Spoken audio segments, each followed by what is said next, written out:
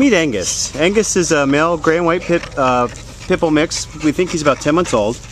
Uh, at the Baldwin Park Shelter. His impound number is A4663516. Uh, he's young. He's got a lot of puppy in him.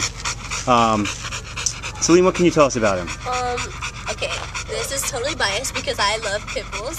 Um, but he is just everything that you want in a dog. You know, he's gonna go fetch the ball, he's gonna go run around the backyard.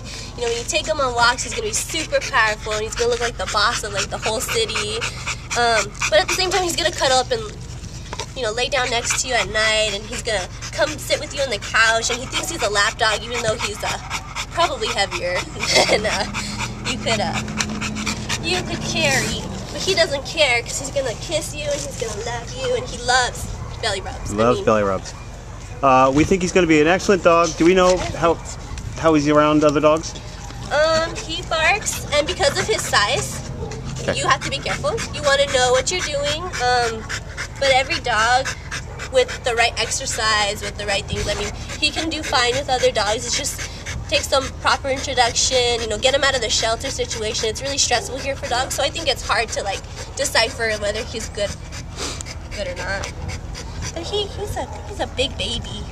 And he seems extremely motivated. He seems uh, he, he loves treats. Uh, he's going to be really easy to train.